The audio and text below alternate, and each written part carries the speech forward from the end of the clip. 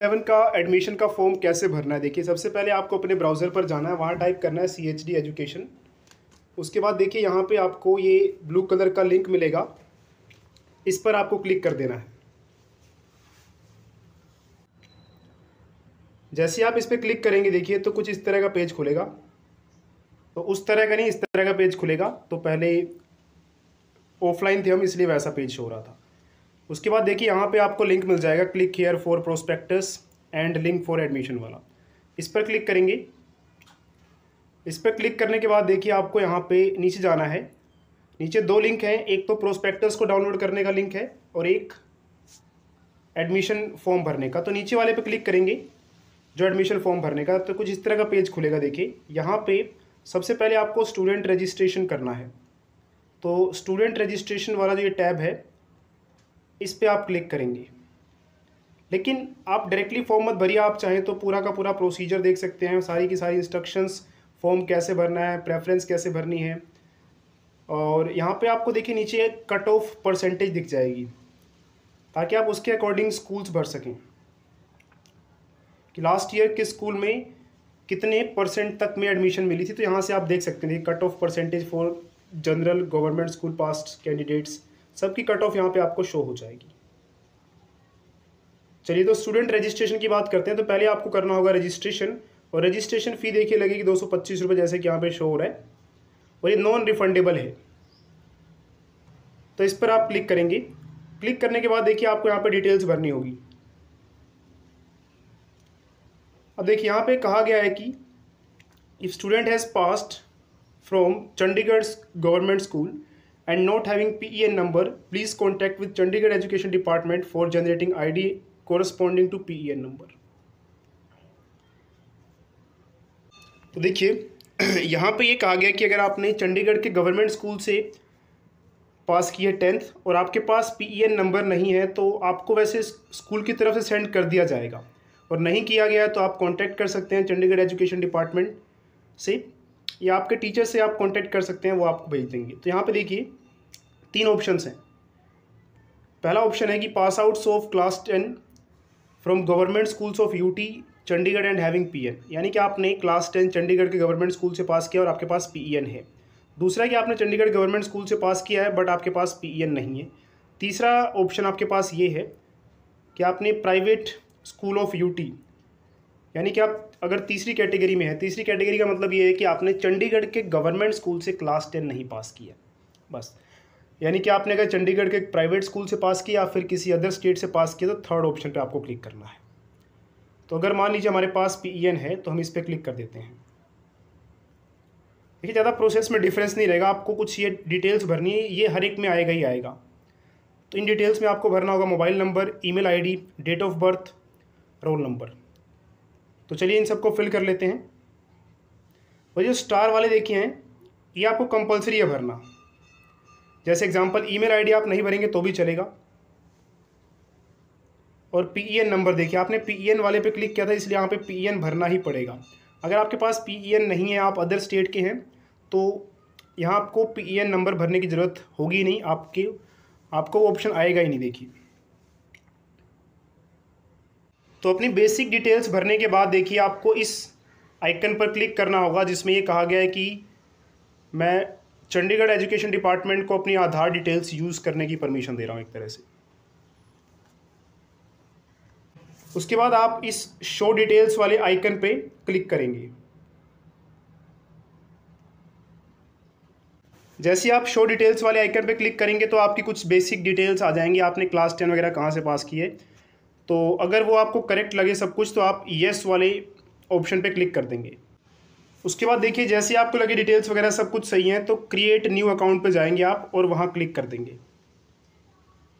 इसके बाद देखिए, आपको एक मैसेज शो होगा जिसमें लिखा होगा कि आपका अकाउंट सक्सेसफुली क्रिएट हो चुका है।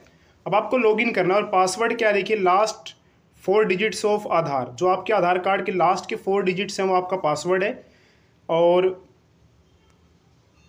तो देखिए पासवर्ड कुछ इस तरह से है कि आपके आधार कार्ड के लास्ट के चार अक्षर। मान लीजिए लास्ट के चार अक्षर आपके आधार कार्ड के वन टू थ्री फोर उसके बाद आपकी डेट ऑफ़ बर्थ जो है, वो है तीन तारीख तीसरा महीना। तो इस तरह से ज़ीरो थ्री ये हो गई डेट तो पासवर्ड में आप ज़ीरो थ्री लिख देंगे और तीसरा महीना है तो ज़ीरो थ्री तो इस तरह से एट डिजिट्स का आपका पासवर्ड होगा।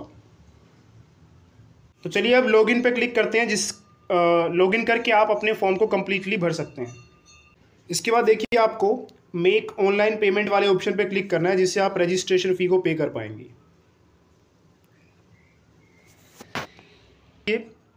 ट्रांजैक्शन नंबर वगैरह और आपकी डिटेल्स शो हो जाएँगी, यहाँ से आपको फ़ीस पे करनी है।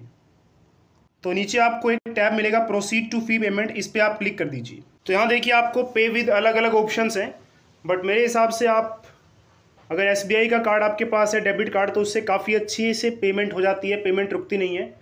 पिछले साल ऐसे हुआ था, इस साल क्या पता सारे कार्ड से हो जाए। वैसे सारे कार्ड से हो जाती है, लेकिन अगर आपके पास एस का डेबिट कार्ड है तो काफ़ी ईजिली पेमेंट हो जाती है। तो इस तरह से देखिए पेमेंट जब सक्सेसफुल हो जाएगी तो आपको यहाँ पे एक ऑप्शन मिलेगा प्रिंट डाउनलोड पेमेंट रिसिप्ट ये रिसिप्ट आपको डाउनलोड कर लेनी है, क्योंकि ये एक प्रूफ है कि आपने रजिस्ट्रेशन की फ़ी पे कर दी है तो इसे आप डाउनलोड कर लेंगे इस पर क्लिक करके। तो डाउनलोड करने के लिए आपको क्या करना होगा, देखिए, जो आपकी रिसिप्ट शो हो रही है, वहाँ पे नीचे ऑप्शन होगा प्रिंट पेमेंट रिसिप्ट इस पर क्लिक करेंगे पहले आप. उसके बाद देखिए, यहाँ पे आपके पास ये एक टैब शो होगा, ये एरो वाला. इस पर क्लिक करेंगे तो देखिए, यहाँ पे सेव एज पीडीएफ का ऑप्शन आएगा. तो यहाँ से आप इस पीडीएफ को सेव कर लेंगे, इस पर क्लिक करके. तो ये देखिए पीडीएफ का आइकन बना हुआ है, इस पर क्लिक करेंगे और ये पीडीएफ सेव हो जाएगी आपके मोबाइल में. तो यहाँ से देखिए आपके पास एक और ऑप्शन आएगा सेव का। ये रहा। इस पर क्लिक करेंगे और पीडीएफ सेव कर लेंगे। अब अगला स्टेप है कि आपको रजिस्ट्रेशन फॉर्म भरना है कंप्लीट तो इसके लिए आपको फिर से एक बार लॉगिन करना पड़ेगा, जैसा कि यहाँ पे कहा गया है। तो यहाँ से देखिए स्टूडेंट लॉगिन का ऑप्शन मिलेगा। यहाँ पे फिर से आप अपने डिटेल्स भरेंगे और लॉगिन कर लेंगे। तो जैसे आप लॉगिन कर लेंगे, देखिए तो आपके सामने ऑप्शन आएगा ऑनलाइन रजिस्ट्रेशन फॉर्म का। इस पर क्लिक करके आप फॉर्म को भरना शुरू कर देंगे। तो कुछ डिटेल्स तो आपकी पहले से इसमें भरी होंगी, बस आपको कुछ डिटेल्स भरनी होंगी, जैसे कि कैटेगरी। कैटेगरी यहाँ से सिलेक्ट कर लेंगे आप, अपना चाहे तो लोकल एड्रेस डाल सकते हैं यहाँ पे। उसके बाद देखिए नेक्स्ट ऑप्शन आता है आपका, एंटर मार्क्स या ग्रेड। तो इस पर क्लिक करेंगे। तो उसके बाद देखिए आपको यहाँ पे बोर्ड सिलेक्ट करना होगा, आपने क्लास टेन किस बोर्ड से पास किया, आपका रोल नंबर ऑलरेडी फिल्ड होगा यहाँ पे। ईयर ऑफ़ पासिंग कब आपने क्लास टेन पास किया?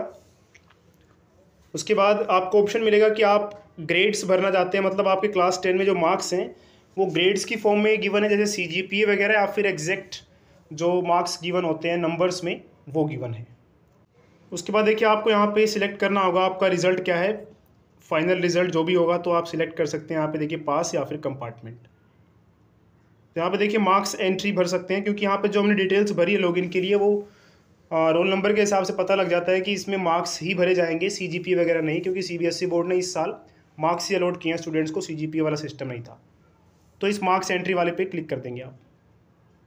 तो जैसे ही आप देखिए डिटेल्स भरेंगे, वहाँ पे अपने आप ही ऑटोमेटिकली मार्क्स अपलोड हो जाते हैं। नहीं होते तो आप वहाँ पे भर सकते हैं। तो पाँच सब्जेक्ट्स के मार्क्स हम देखिए, ये अपने आप ऑटोमेटिकली अपलोड हो गए हैं। जैसे हमने रोल नंबर वगैरह ये सब भरा उसके बाद देखिए एंटर प्रेफरेंसेस वाले पे चलेंगे। एंटर प्रेफरेंसेस वाला जो ऑप्शन है, वो बहुत ही ध्यान से भरना है आपको। इसी के बेस पे आपको मनचाही सीट मिल सकती है या फिर आपकी अच्छी वाली, पसंद वाली सीट जा भी सकती है। इसलिए बहुत ध्यान से भरिएगा। इसके लिए एक सेपरेट वीडियो मैंने बनाई है, उसका लिंक आपको डिस्क्रिप्शन बॉक्स में मिल जाएगा कि कैसे आपको प्रेफरेंस भरनी है। लेकिन मैं इस वीडियो में भी आपको समझा दूँगा कैसे आपको प्रेफरेंसेस भरनी है। तो यहाँ पे शो हो रहा है, देखिए कि मिनिमम ट्वेंटी प्रेफरेंसेज आपको भरनी है। तो कम से कम बीस प्रेफरेंस भरेंगे, तभी जो है आप फॉर्म के नेक्स्ट पार्ट तक जा पाएँगे अदरवाइज़ नहीं। अब प्रेफरेंस कैसे भरनी, आइए समझते हैं। सबसे पहले वो स्कूल सिलेक्ट कीजिए जिसमें आपको सबसे पहले एडमिशन लेने हैं। मतलब आपके सबसे मनपसंद स्कूल वो टॉप पे रखना है नंबर वन पे। कौन सा तो जैसे मान लीजिए मैंने सिक्सटीन वाला स्कूल रखा टॉप पर मेरी पसंद है, और उसके बाद स्ट्रीम है इसमें कॉमर्स तो इस तरह से दूसरे नंबर पे वो स्कूल भरिए कि चलिए पहले में एडमिशन नहीं मिला तो दूसरी पसंद का स्कूल कौन सा आपको? ऐसा नहीं है कि जो स्कूल में आप जाना नहीं चाहते, वो पहले वाले नंबर पर रख दिया। ऐसा बिल्कुल नहीं करना है। सबसे ऊपर वो स्कूल जिसमें आपको एडमिशन चाहिए। दूसरे नंबर पे वो स्कूल की भाई पहले में नहीं मिले तो दूसरे इसमें मिल जाए। क्योंकि एडमिशन का प्रोसेस इस तरह से होता है कि सबसे पहले आपकी नंबर वन की प्रेफरेंस देखी जाएगी, उसमें एडमिशन दिया जाएगा। अगर उसमें आपको मिल पा रहा है तो ठीक है। नहीं मिल पा रहा तो सेकंड वाले पे आपको ट्राई किया जाता है कि सेकंड वाले में देने की कोशिश की जाएगी। अब सोचिए, अगर आपने पहले वाले पे ही वो स्कूल भर दिया जिसमें आपको एडमिशन नहीं चाहिए तो आपकी प्रेफरेंस नंबर वन वो था। तो सबसे पहले उसी स्कूल को ही आपको अगर अलॉट कर दिया गया तो नीचे वाली आपकी जो पसंद के स्कूल थे वो तो रह जाएँगे। इसलिए टॉप पर वो स्कूल भरी जो सबसे अच्छा स्कूल आपके लिए। तो जैसे जैसे देखिए, आप फॉर्म भरेंगे तो यहाँ पे शो हो जाता है अपने आप ही कि लास्ट ईयर जनरल कैटेगरी में कट ऑफ़ थी sixty three point four zero यानी कि जो सेक्टर एट वाला स्कूल है, उसमें last year sixty three point four zero वाले स्टूडेंट को फ़र्स्ट काउंसलिंग में एडमिशन मिल गई थी। तो इस तरह से आपको आइडिया आता है कि आपके कितने चांसेस रहते हैं आपकी परसेंटेज के हिसाब से।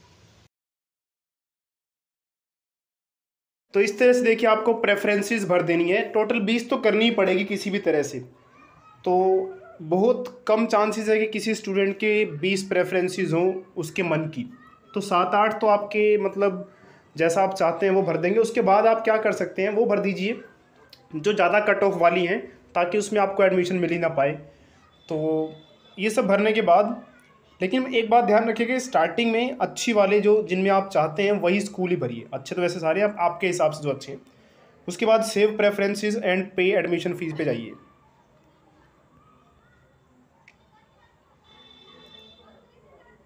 उसके बाद देखिए, यहाँ पे आपको फ़ी अमाउंट शो हो जाएगा। इससे आपको पे करनी है। और ये आपको पे करनी ही करनी पड़ेगी। और अगर आपका एडमिशन नहीं होता तो ये फ़ी आपकी रिफ़ंड हो जाती है। लेकिन एडमिशन हो जाती है और फिर आप एडमिशन नहीं लेते हैं, तब ये वापस नहीं होगी। तो ये सारी बातें आपको पता होनी चाहिए। तो इस तरह से देखिए, आप एडमिशन फ़ी पे कर लेंगे और सक्सेसफुल ट्रांजैक्शन आ जाएगा। फिर से आपको क्या करना है कि ये जो प्रिंट डाउनलोड पेमेंट रिसिप्ट है, इस ऑप्शन पे क्लिक करके अपनी रिसिप्ट को डाउनलोड कर लेना है। वैसे ही जैसे मैंने रजिस्ट्रेशन की फ़ी पे करने के बाद कहा था। तो इस तरह से देखिए आपका फॉर्म लगभग पूरा कंप्लीट हो चुका है। तो इस तरह से देखिए फॉर्म कंप्लीट हो चुका है और आप चाहे तो प्रिंट, ऑनलाइन रजिस्ट्रेशन फॉर्म पर जाके इसे प्रिंट करवा सकते हैं, लेकिन अभी प्रिंट मत करवाइए, इसे बस पीडीएफ की फॉर्म में अपने मोबाइल में सेव करके रख लीजिए।